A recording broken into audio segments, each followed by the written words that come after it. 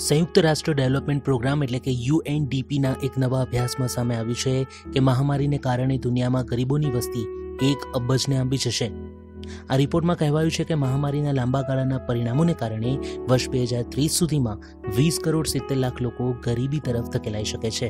અને જો આવું થયું, તો દુનિયાભરમાં ગરીબોની સંખ્યા એક અબજથી વધારે થઈ જશે. આ રિપોર્ટમાં કોવિડ નાઇન્ટીનથી પાર પાડવા માટે વિવિધ પરિપ્રેક્ષ્યના કારણે સતત વિકાસના કાર્યો પર થનારી અસર અને મહામારીને કારણે આગામી દાયકાઓમાં થનારી અસરો વિશે વિશ્લેષણ કરાયું છે. અભ્યાસ, યુએનડીપી અને ડેનવેર યુનિવર્સિટીમાં પારડી સેન્ટર ફોર ઇન્ટરનેશનલ ફ્યુચર્સની ટીમે સંયુક્ત રીતે કર્યો છે. વર્તમાન મૃત્યુદર અને આંતરરાષ્ટ્રીય મુદ્રા કોષ એટલે કે આઈએમએફના હાલના વૃત્તિદરના અનુમાનના આધારે બેઝ લાઇન કોવિડ પર્સપેક્ટિવ એવો છે કે મહામારી પહેલાં દુનિયા જે વિકાસના માર્ગે હતી, તેની તુલનામાં મહામારી બાદ ચાલીસ લાખ વધુ લોકો બે હજાર ત્રીસ સુધીમાં ગરીબીની ચપેટમાં આવી જશે, જેમાં વીસ કરોડ સિત્તેર લાખ લોકો તીવ્ર ગરીબીમાં ધકેલાશે એવી ભીતિ છે. રિપોર્ટમાં એવો પણ દાવો કરાયો છે કે કોવિડ નાઇન્ટીનની અસરોમાંથી ઉગરવાની પ્રક્રિયા લાંબા સમય સુધી ચાલશે. યુએન ડેવલપમેન્ટ પ્રોગ્રામના મેનેજર અખીમ સ્ટીનર કહે છે કે કોરોના મહામારી મહત્વનો પડાવ છે અને ભવિષ્યનો આધાર આજે લેવાયેલા નિર્ણયો પર હશે. વધુમાં તેઓ કહે છે કે વિશ્વના નેતાઓ જે નિર્ણય લેશે તેનાથી વિશ્વની દિશા બદલાશે.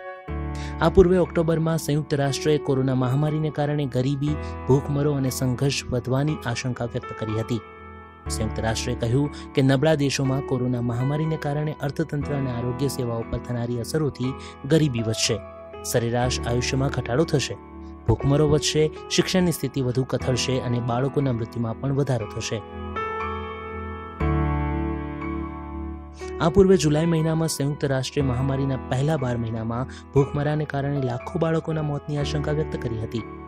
સંયુક્ત રાષ્ટ્રએ ચેતવણી જાહેર કરી હતી કે કોરોના વાયરસને કારણે લાગેલા પ્રતિબંધોને કારણે ઘણા દેશોમાં ભૂખમરો વધ્યો છે અને એક મહિનામાં દસ હજારથી વધુ બાળકોના મોત થઈ રહ્યા છે.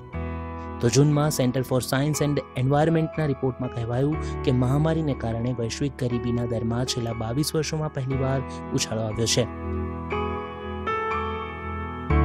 ભારતમાં અંદાજે વીસ લાખ લોકો આ ગરીબીના આંકડામાં ઉમેરાઈ જશે, જે વિશ્વમાં સૌથી વધારે છે. સંયુક્ત રાષ્ટ્રના ડેટા પ્રમાણે મહામારીને કારણે ભારતમાં અસંગઠિત ક્ષેત્રે કામ કરનારા અંદાજે ચાલીસ કરોડ લોકો ગરીબીની ચપેટમાં આવી શકે છે. જ્યારે કે દુનિયાભરમાં વર્ષના અંત સુધીમાં ઓગણીસ પોઈન્ટ પાંચ કરોડ લોકોની નોકરી છૂટી શકે છે.